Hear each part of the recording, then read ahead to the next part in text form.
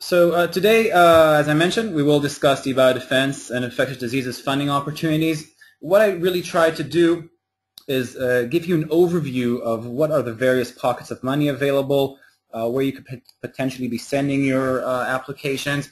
I will focus primarily on the National Institutes of Health, uh, once again with an emphasis on NIAID, National Institute of Allergies and Infectious Diseases, not surprisingly. I will also share some opportunities in the other government agencies such as BARDA and the Department of Defense as well, DTRA, DARPA, U.S. Army, uh, primarily, uh, those are the um, those are those are the primary areas where one can find such pockets of money. Uh, first, though, uh, what I would like to um, do is share with you who FreeMind is. And generally, if you aren't aware, if you haven't uh, encountered or, or, or, been on a webinar previously, essentially we are a consulting firm. What we try to do is um, help our clients get as much money as possible from non-dilutive sources uh, this primarily translates into grants and contracts uh, from uh, government agencies, NIH, Department of Defense, as I mentioned. We do work with all the players in the life sciences, across the life sciences, with academics, universities, medical centers, research institutes, and industry. Could be a small startup, a couple of folks at home, uh, all the way to members of large pharmaceutical companies.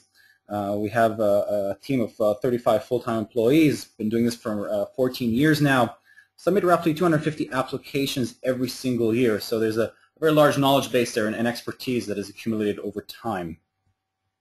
Uh, basically what we try to do, and, uh, and, I will go into further detail towards the end of the presentation uh, regarding our methodology, and, and, of course you're welcome to uh, uh, try it at home, uh, share it with your loved ones. what we try to do is help you identify the most relevant funding opportunities, outlining a granting strategy for you, strategizing how to maximize the application's chances for award. Uh, we would also, also, of course, manage complex uh, project production processes such as multi-PI, multi-component uh, applications. Uh, the application writing process is a joint effort, and I will share more on that uh, towards the end. And uh, yes, in the case of contracts, we would assist with the final contract negotiations. Now, when one looks at the NIH budget, and I am focusing uh, first and foremost on the NIH uh, because that is a fantastic source of funding, uh, $30.9 billion, yes, the obvious question that comes to mind is what is going on with the sequestration? Uh, so the truth of the matter is that, uh, well, most likely 2013 awards will not be affected heavily, maybe just a bit of delay in the, in the notice. we are expecting 2014 a slight decrease, uh, I believe NIH uh, was 5%, I think, uh, or maybe settled on 5.6% in the end. So take 5.6% off 30 billion is not a huge loss, although it is uh, a loss uh, in itself. Looking at the pie in front of you, uh, 16 billion, 16.5 billion go to research projects, followed by research centers, grants, R&D contracts. Essentially, most of the, the of, of the source of funding actually goes externally out of the NIH, uh, extramural uh, research, whereas internally and intramural research and uh, other uh, efforts are only a small portion. Now, where is all this money going? Uh, in front of you, you can see a, a graph with various areas of, of interest.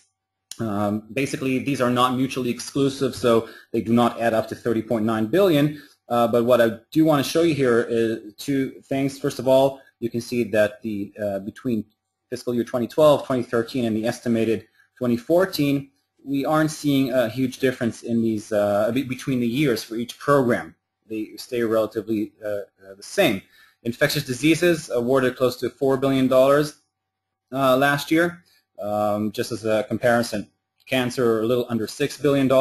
And I did opt to leave in the more relevant uh, areas uh, relevant to our audience so you can pick out your relevant area and try to see uh, how much money you could potentially be targeting. In terms of infectious diseases awards, um, from 2010 onwards, it's been fairly constant. So close to $4 billion awarded uh, from uh, for infectious diseases. And once again, we are, are not anticipating a huge uh, difference uh, in, in, this type of graph. So uh, those of you out there in the infectious diseases area, there's a substantial pocket of money. Uh, in terms of NIAID, uh, what NIAID uh, does, well, it's pretty evident from their name. they focus on allergies and infectious diseases. basic research, applied research. Um, basically, they're trying to prevent infectious diseases, immunological and allergic diseases. Uh, notice that the NIAID budget uh, slightly decreased um, over the last three years, but then again remained is remaining relatively constant, and uh, we don't anticipate a, a, mark, a marked shift in that in the future. In terms of uh, ways one can approach these pockets of money, there are several ways, there are several uh, routes. The first and, and, most logical one, I think the one that uh, individuals mostly uh, are targeting, are the solicited opportunities.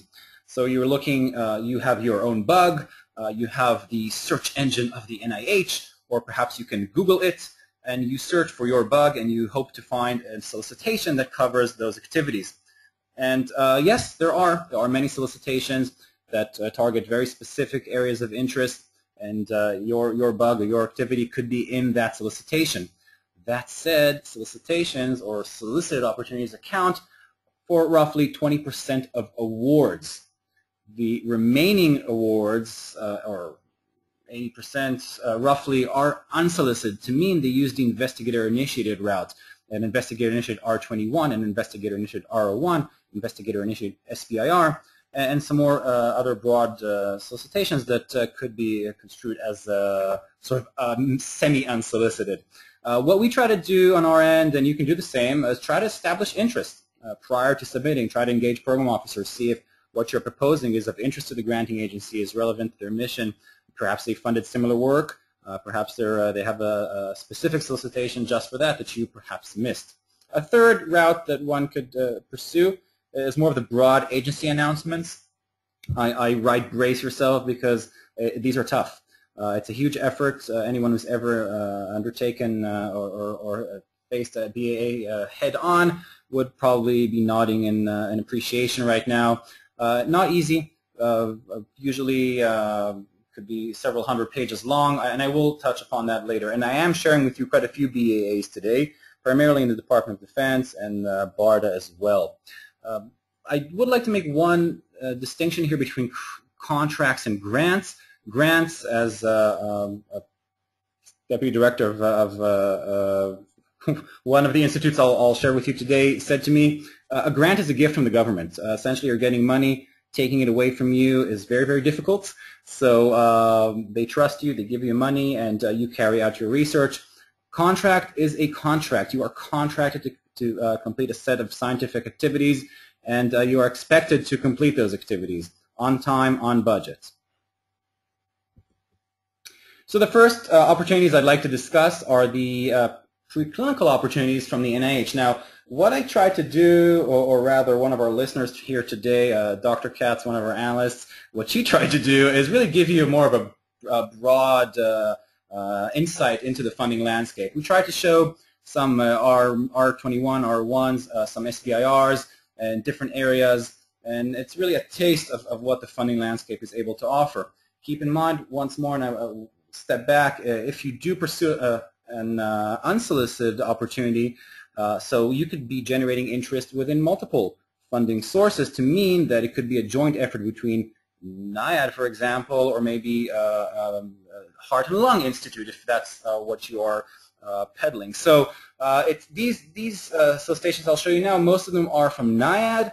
Uh, one is um, does have several agencies participating, and it could go to either one of those. Uh, the first one would be the Counteract program. This one uh, is an R21, so early exploratory proof of concept type work, countermeasures against chemical threats, and basically developmental projects in translational research. So uh, it's, it's a non-standard R21 in terms of the dollar value. We're looking at half a million dollars over a two-year period. Uh, fairly simple to, to comprehend. We're looking at chemical threats, so uh, nerve agents uh, such as sarin, VX. Uh, it could even be toxic industrial chemical and, and toxic agricultural chemicals. Notice the non-standard due date. It is January 30th. Uh, once again, no need for uh, any preliminary data. It is really a proof of concept generating uh, type of application, and there are multiple agencies that are participating in this endeavor. Similar but different. Uh, this is a U01, a cooperative agreement. Uh, what does that mean? That means that you are in tight connection with the granting uh, agency. Uh, they are looking very carefully at your uh, research plan. They're looking very carefully at your milestones. They would like to see you uh, visit with them periodically to discuss the project. It's a very hands-on type mechanism. This uh, U01 is from NIAID. It is essentially the same effort here. However, it does require a more substantial body of evidence. Of course, it, it is more advanced, and it is uh, the counteract against uh, chemical threats. Uh, the dollar value uh, depends on, on the, the scope of work. Uh, we're looking at about up to two and a half millions, two half million dollars over five years. And they are essentially looking for to develop new and improved therapeutics for chemical threats which is what we mentioned just now. In terms of submission, uh, this one is an annual uh, event. So we're looking at September 16, 2013, uh, the closest deadline. Don't miss it if you are relevant. I will now revert to the SBIR STTR mechanism. This specifically is an STTR from NIAID. It's the Advanced Technology STTR, uh, $300,000 over a two-year period. In other words, if you require some more cash uh, to uh, get you going, it does differ from the, the standard SBIR or the omnibus SBIR in that it is, uh, well, twice the dollar value. Uh, the phase one is up to two years, and then the, uh, the phase um, Two would be up to three years, $1 million per year. So this is a very, very nice, very, very nice uh, dollar value. Uh, they are looking for advanced technology projects that require a longer award period, as I mentioned, and greater award amounts, uh, those that are allowed. Um, so they do uh, refer to advanced technology as a clearly identified. So this is not a fishing expedition. This is not a, a, um, a, target uh, validation. It's, more about taking the validated target further. So, and they will only review applications that meet the uh, advanced technology definition. Note that in the STTR, a company is or does have to be responsible for at least 40% of the work. Next deadline, August 5th. If you hurry, you can make it. Otherwise, go ahead and submit in December 5th. It's very similar. This would be the SBIR uh, Advanced Technology from NIAID. Uh, similar deadline, similar dollar value. Uh, essentially, the, the main difference is that uh, the company does have to carry out at least 60% of the work in-house. Well, uh, it's debatable how that is calculated, but then again, it's up to the program officer to ultimately decide whether you are carrying out 60% of the work. In other words, uh, you can go ahead and submit, but if you are not, and the program officer um, would would uh, believe as much, uh, you could perhaps not get the award. So be very careful. By the way, a lot of people ask us, and the answer is to the question that you'll uh, understand momentarily. Yes, you can uh, uh, suggest renting lab space once the award is made, so you don't have to have the lab space upon submission. Another SBIR from NIAID, uh, August 5th deadline, uh, one standard due date, so December 5th will be the next one. It's the radiological nuclear medical countermeasures, uh, product development, um, funding cannot exceed 300,000 total cost per phase one award and 1 million for phase two. Uh, the idea is countermeasures uh, against uh, radiological nuclear um, activities, against those, those well, product development against its activities. Uh, the idea would be to uh, bring you to an IND or ID uh, to the F, package to the FDA. This is non-clinical. We're looking at preclinical product development, and uh, the idea, once again, would be to advance new medical countermeasures towards a phase one clinical trial, safety studies, GLP animal model, pivotal efficacy studies, and a FDA licensure. A couple of uh, clinical programs, we get asked this a lot. Um, people are constantly looking for the large dollar value. They want the uh, to, to, cover their uh, phase one and phase two, and, and some even looking for phase three. Uh, dollars within the NIH, a little more difficult, and I will show you some uh, uh, opportunities that you can. the first, the first one is the NIAID clinical. Well, I'll, I'll rephrase. this would be a preliminary step to the actual award for the clinical trial. This is a planning grant. It's only $150,000 for one year. The idea is to help you uh, prepare the activities towards submitting the, uh, the, the, full proposal. So we're looking at the rationale of the trial, we're looking at the design, the protocol, um, any of the elements that go uh, that are part of designing a clinical study. Um, essentially, if you can already show that you have prepared the necessary uh, documentation and necessary uh, um, elements for, for the clinical study, you can go ahead and submit an R1 or a U1. However, I would strongly urge you to speak with the program officer the contract officer to ensure that you uh, are or will be welcomed in open arms. Uh, so uh, although a great mechanism to uh, fund those activities, you could go ahead and skip directly to the U1, for example, and it does have an R1 equivalent, and I'll, I'll, I'll share, I'll describe what the difference is. Uh, in terms of the U1 here, the NIAID Clinical Trial Implementation Cooperative Agreement, once again, it's a cooperative agreement to mean that there's a lot of hands-on from NIAID on this one.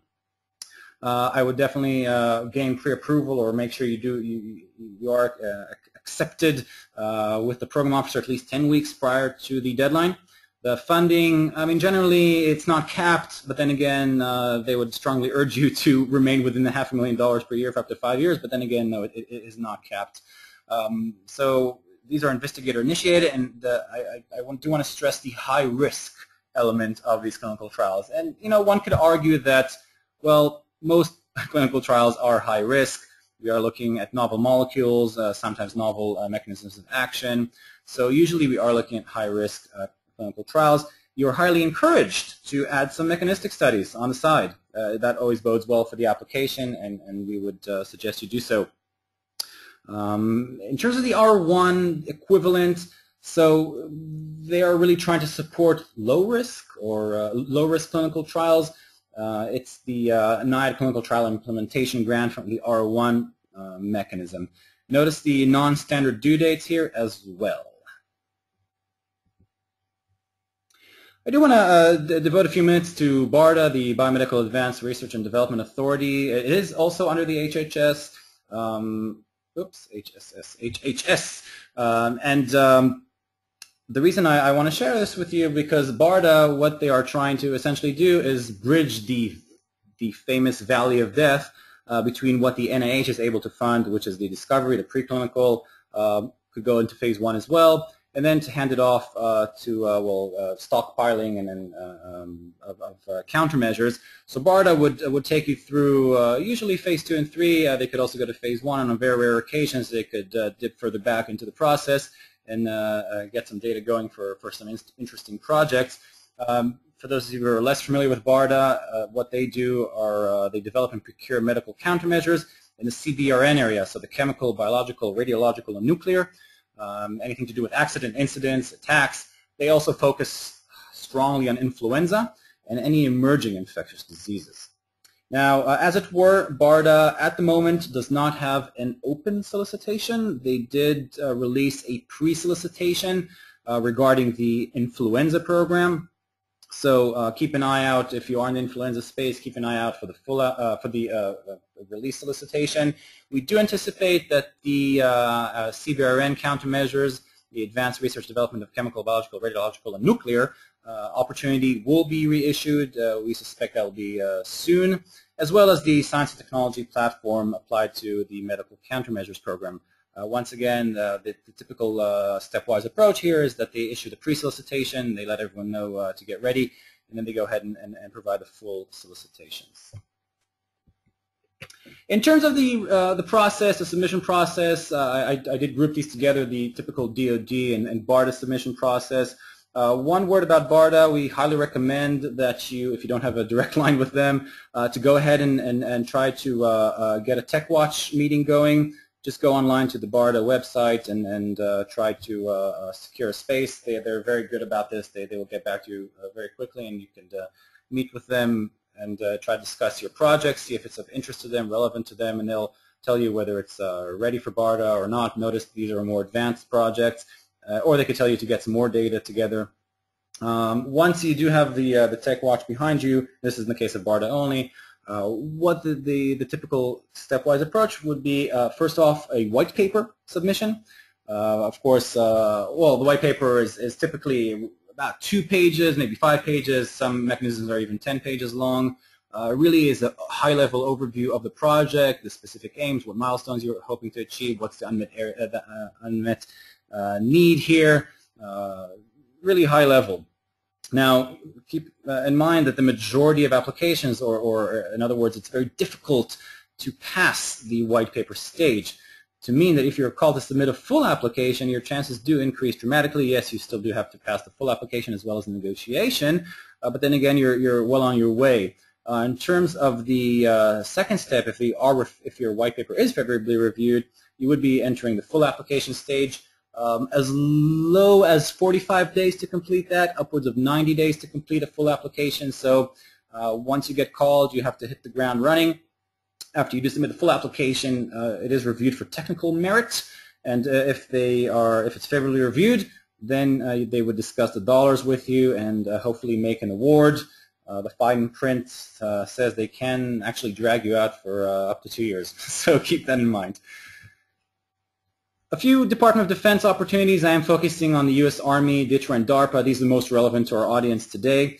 Um, relevant uh, to this uh, extent that we are looking at uh, the bio defense and the infectious diseases area. I will start with DTRA, the Defense Threat Reduction Agency. Um, the, they do have three relevant solicitations out right now for our audience. Uh, the first one is the basic research for combating weapons of mass destruction or counter uh, weapons uh, measures of weapons of mass destruction. Notice in all of these that the budgets are not capped. It really has to reflect the scope of work. And they are focusing on basic research projects. So uh, the mission of DTRA is to safeguard the uh, America and its allies from weapons of mass destruction, to mean chemical, biological, radiological, nuclear, and high-yield explosive, um, and, and with these various countermeasures. So the projects always have to be related to the DTRA mission. In terms of uh, industry, yes, you are eligible as an, an industry uh, uh, player. That said, keep in mind that you should or you have to be uh, basic research oriented, um, as well as you have to uh, provide 30% participation by an academic. I, I think the, the, the, basis here is that they do expect the basic research coming from the academics. And you can uh, look down at the, at the bottom of the screen at the strategic thrust areas um, and of course, you can go and online and, and, take a closer look to see if you are relevant to what they're looking for.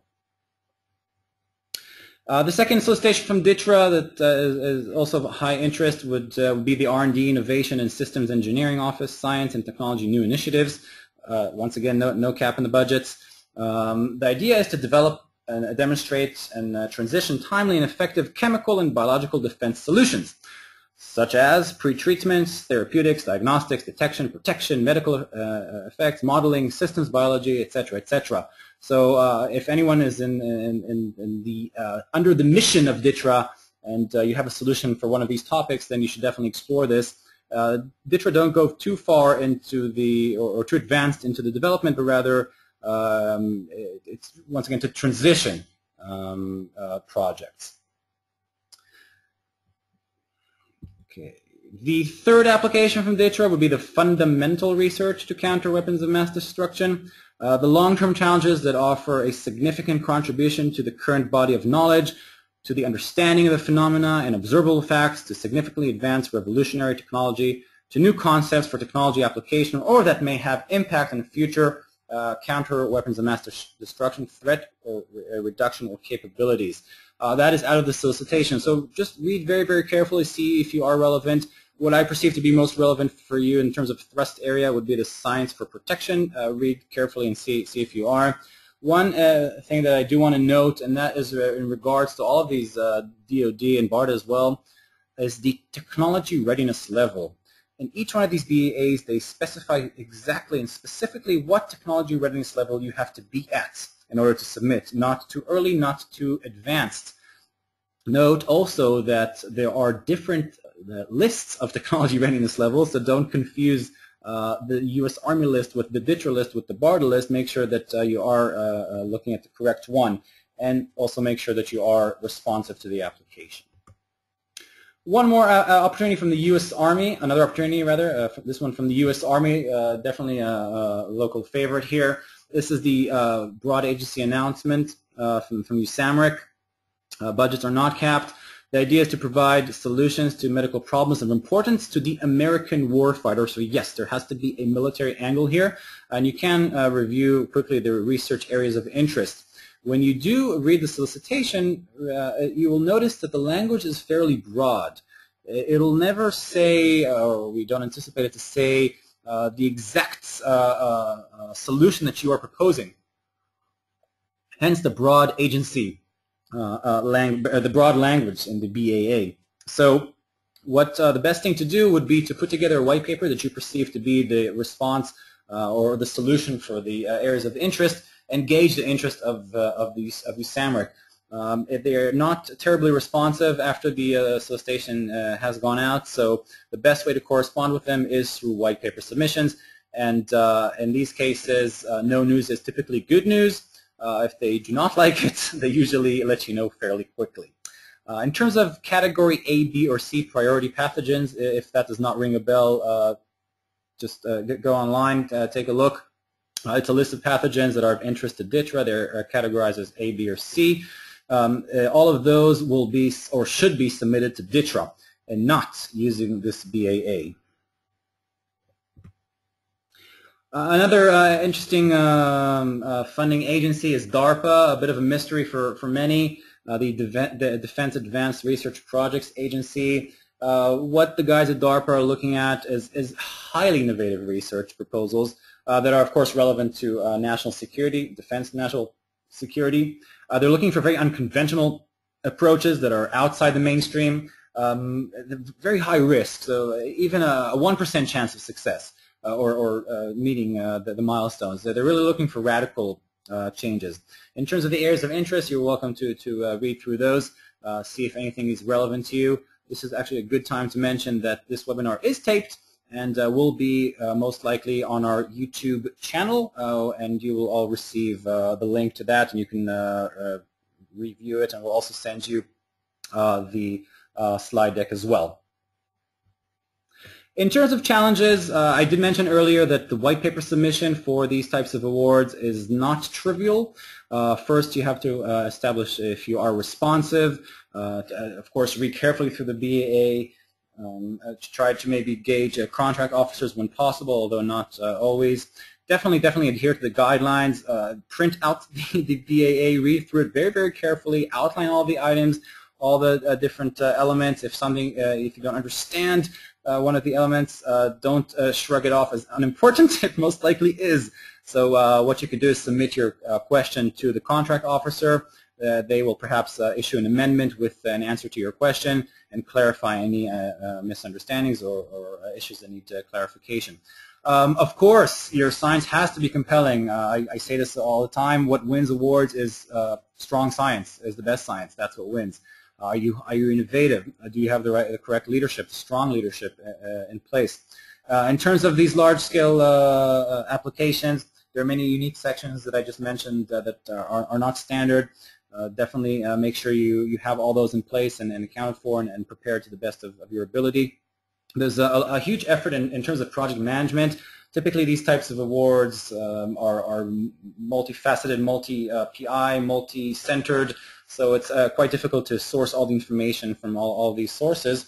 Um, and uh, coordinate, coordinating the, uh, the writing process towards these short timelines does become challenging. Uh, I do want to take a step back towards the NIH, and, and this actually um, applies for, for any grant that you submit in this space. Um, when you are submitting the, the grant, uh, you do have to always take into consideration what the NIH is looking at or the other uh, granting agencies. Uh, what they're looking at um, is first and foremost, uh, they're, they're weighing the, the, the risk uh, in front of the, the strength. In other words, they're looking at what sort of strengths your application has and what sort of risks. And if you outweigh the, the risk, uh, then your chances of, of, award go up. How do you do so? Uh, well, five different elements that uh, they're looking at. Uh, the first one that they'll discuss is leadership. Do you have the expertise? Does the PI have the expertise uh, to uh, oversee this type of project? Do the key personnel have the experience? If they don't, perhaps you need to bring on a collaborator, a subcontractor. Can the environment support this type of work? Uh, for example, your lab space, if it cannot, then maybe you should collaborate with a university that does have the necessary um, uh, activities uh, in-house that you can carry out there. Of course, is it significant to public health? Is it of highly, uh, is does it have a high innovation factor? Um, and first and foremost, uh, undoubtedly, would be the scientific approach. What ultimately wins grants is not the four elements that I just described. Yes, they do have to be up to par. They have to be strong. But what wins grants is a top quality scientific approach. It has to be well structured, well laid out, um, and uh, um, I'll describe how we do so a little later in the, uh, in the presentation. Um, notice there's another, I, I, did put down here, responsiveness versus competitiveness. Um, so you do definitely have to be responsive. Uh, if you're not responsive, no, you will not win. Uh, but you also have to be competitive, and that's what these five factors are really weighing against the risk. So how does one maximize chances for award? Well, first of all, know what the agencies are looking to fund. Uh, if uh, BARDA, uh, by some for some uh, reason, stops uh, being interested in taking flu um, uh, projects forward, perhaps it's not the time to submit to BARDA. Uh, is, if NIAID is interested in a specific bug these days that's gaining some uh, uh, traction in the field, well, maybe this is your chance. of course, you have to focus your project application. A discrete start point, a discrete end point. keep in mind that none of these granting agencies fund companies or fund labs. They fund projects. Uh, so uh, um, don't be overly ambitious. Uh, try to, to keep, once again, the, the project a discrete start and end point for the project. Definitely ask for what is necessary in terms of budget. don't ask for too much because you will, will, it will be scrutinized. don't ask for too little. They will think you are, don't know what you are doing. Uh, definitely present a complete project, and I did mention that, uh, uh, I touched upon that earlier. If you have any gaps in your capabilities, gaps in, in your knowledge, definitely collaborate, uh, bring on subcontractors, uh, consultants, and that also is connected to uh, leveraging on research collaborations. NIH uh, uh, loves research collaborations, be it industry-industry, academic-academic, or industry-academic. Uh, anything to uh, uh, present a more complete project, both in expertise and the scope, is, is bodes well for the application. I, I, showed you today several pockets of money, several mechanisms. I showed you proof of concept. I showed you uh, clinical uh, work. I showed you translational work. There are different sizes of awards in these, different success rates. Try to take a look uh, at what those are, see what's where, where, it's less risky for you. Um, as I mentioned, some uh, uh, projects may not have the exact right target, but then again, you could always uh, submit a uh, investigator-initiated type work and try to target it to the relevant uh, uh, granting agency.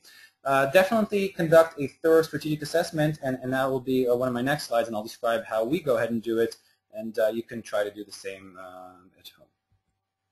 A quick, just to remind you who, who's, who's speaking with you today, the NIH team. Uh, we are 35 full-time employees on staff. Um, we have a, a, small group of analysts who conduct these strategic assessments that I'll describe uh, shortly. And then we have managers and writers that uh, uh, essentially uh, see you through to submission. This is led, the team is led by several very competent individuals. Guy Harchen would be the manager of the professional department, and Joel would be the manager of the consulting services and uh, the trustee uh, analyst, uh, Dr. Geva, Dr. Katz, and we are missing um, one more here, that's Dr. Gordzowski. In terms of the process, and um, I say this jokingly, there's no IP here. Uh, you're welcome to try it out tonight around the dinner table with uh, with your kids, uh, see what comes out. Basically, what we're trying to do is take you through two core services, core elements of, of our activities. The first one will be the strategic assessment uh, the uh, identification of funding opportunities, if you will. What we try to do is generate a long-term strategic approach. Uh, I'll, I'll, be blunt. Submitting one application, sitting back for 10 months uh, to see what happens is not a granting strategy. Um, I don't want to break it to you. You will most likely not win. Uh, it, it's really, it really necessitates a headstrong approach, multi-submission strategy, uh, putting in several applications, getting reviewed, getting feedback, and yes, being punched on, on occasion as well and standing back up. Uh, how do we do this? Our analysts um, that I just mentioned, they would be looking at your pipeline. What are the projects that you have in-house? Um, what uh, are the R&D activities associated with those projects? They then they they then link those uh, R&D activities with available pockets of money. So, for example, uh, activities one and two could be comparable to a, a very nice R21. Uh, then again, if you have more uh, substantial body of evidence, we could take five tasks tasks together and maybe put together an R01. Uh, we will discuss uh, solicited versus unsolicited, and the initial outcome, and I do stress the word initial, is a map of, of, relevant funding opportunities. We then take that map and translate it into a granting strategy, which uh, uh, ultimately is a multi-submission, long-term uh, strategic uh, approach of a granting strategy. The second core service is the actual grant production process. You'd be working with one of our grants consultants. Um, what they would do is draft comprehensive templates based on the solicitation guideline, based on 14 years of experience, uh, based also on any information you already have, which could be plugged in in the relevant area. Uh, these templates uh, serve as a basis for uh, uh, an ongoing feedback, a iterative review type work where we would send the templates to the client and then where the client would insert the, the, relevant information, send back to us for, for the review. We are the expert grant writers to mean we ask questions, insert comments, rewrite sections. we just keep sending it back until we feel we get it right. Um, we discuss budgetary issues, scope of work, uh, we convert all the information into one coherent, scientifically sound application, uh, package it neatly, and then we send it off. Uh, just to summarize these activities, uh, three realms here. Of course, the client with their R&D funding needs on the top left. Uh, we then translate those funding needs into a multi-submission granting strategy, execute that granting strategy in, in, the near term, I would say six months, uh, through the grant production process, so submission of applications, uh, and this strategy is reviewed constantly. After submission, we uh, revert back and see if uh, we need to refine this approach. And uh, finally, uh, uh, the project will be reviewed. Hopefully dollars will be awarded and so on and so forth. round and round and round we go. Th that was FreeMind in a nutshell. I hope, I hope that was helpful. I do want to mention that you can ask questions if you like. I Probably should have mentioned that earlier on. Uh, you can go ahead and type that into the uh, um, uh, question box, uh, chat box if you want as well, and I'll go ahead and answer any questions. Um, thank you very much for, for logging on, and of course uh, I will stick around if uh, some questions do come in.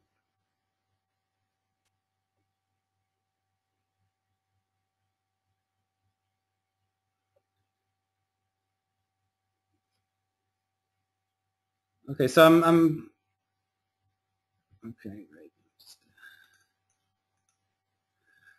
Okay, I'm getting some thanks. Thanks to you guys as well.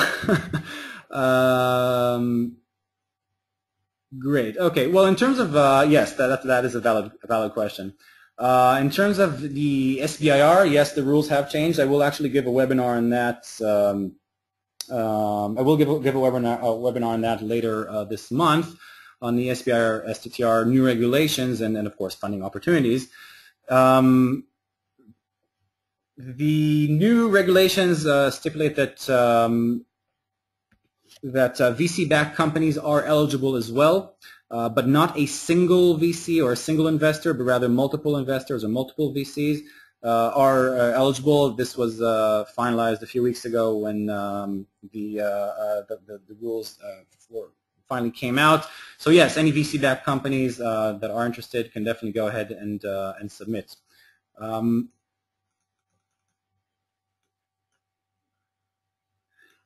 okay, so um, yes, very good question regarding uh, academic uh, versus you, uh, uh, academia versus industry.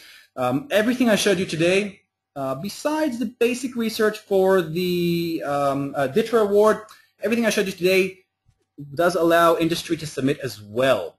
So it's not restricted to academia at all.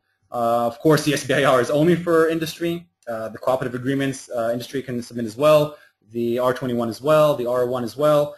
So really very, very few solicitations, unless they state otherwise, uh, do actually limit you to uh, uh, academics only.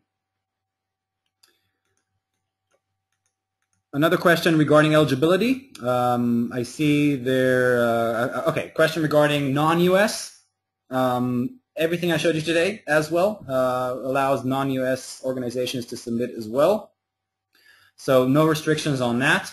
Um, the main difference would be the percent overhead a non-U.S. organization can request. If a company uh, typically requests 35, 40% overhead, academics, by the way, uh, have negotiated rates of 50, 70, 80 100% overhead. Uh, uh, European or, or non-US rather can only request 8% overhead.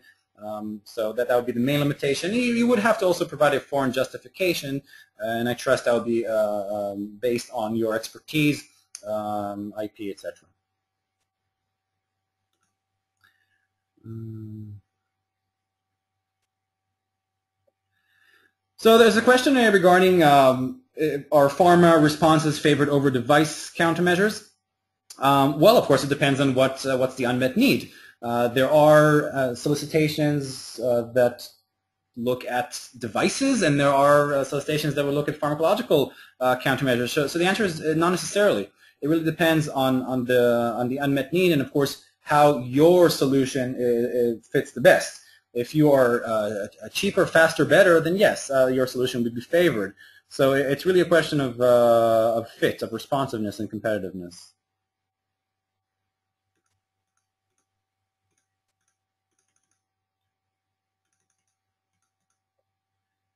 A moment, screening through some more questions.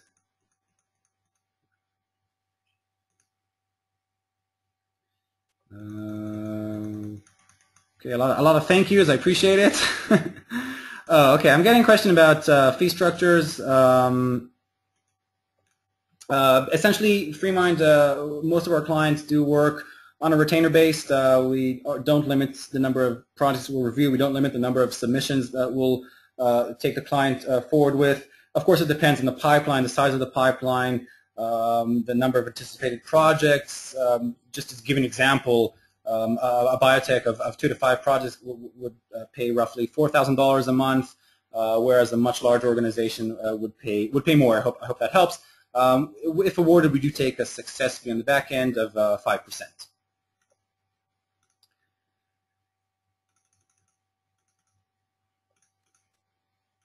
Okay, so I'm, I'm getting a question regarding uh, the political landscape. Uh, the uh, how does that affect uh, any of these awards? The truth of the matter is, uh, no one knows. Um, I can share with you that uh, we have we've had clients who were quote unquote tied to everyone and did not win, unfortunately. And we've had clients that stay very low under the radar and, and did win. So um, what I can tell you is that the days of earmarks people say are over. Uh, and there's only so far a, a lobbyist can take you. Uh, after all, you do have to submit a top quality application, uh, most likely. So um, what ultimately wins awards is the science. That's the truth.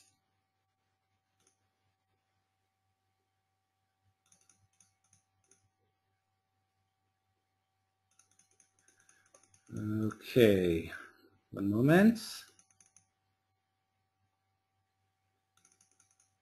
Okay, so the, uh, the some of their the um, SBIRs I showed you were non-standard SBIRs. So the uh, dollar value was higher than the standard SBIR, which is limited to $150,000 plus overhead, where the average SBIR over well last year was roughly 220 or 230. Um, so yes, these ones were specifically uh, larger. Okay.